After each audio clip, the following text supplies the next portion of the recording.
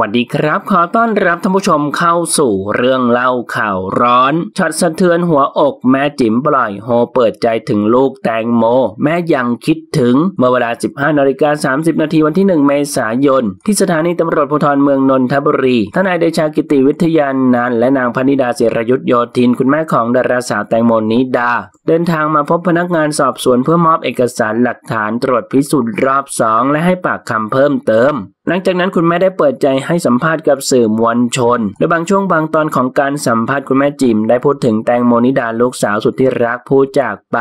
ก่อนปล่อยโฮออกมาแบบสุดกลั้น โดยคุณแม่บอกว่าจนถึงตอนนี้คุณแม่ก็ยังคิดถึงน้องโมทุกวัน คุณแม่คิดถึงน้องโมทุกวันทุกครั้งที่ต้องออกมาเรื่องคดี จะบอกกับน้องโมทุกครั้งให้ช่วยคุณแม่ ให้กำลังใจคุณแม่ด้วย น้องโมกำลังสวยกำลังมีผลงาน ไม่น่ารีบจากคุณแม่ไปเลย ซึ่งช็อตสุดเศร้านี้ของคุณแม่สะเทือนใจชาวเน็ตอย่างแรง จนแห่แชร์ว่อนโลกโซเชียลพร้อมส่งกำลังใจให้คุณแม่กันอย่างมากมายอย่างไรทางทีมงานขอเป็นกำลังใจให้ด้วยนะครับท่านผู้ชมครับ มีความคิดเห็นอย่างไรกับเรื่องนี้ลองแสดงความคิดเห็นกันเข้ามาดูนะครับ ขอขอบคุณข้อมูลจากที่นี่ .com ขอบคุณครับ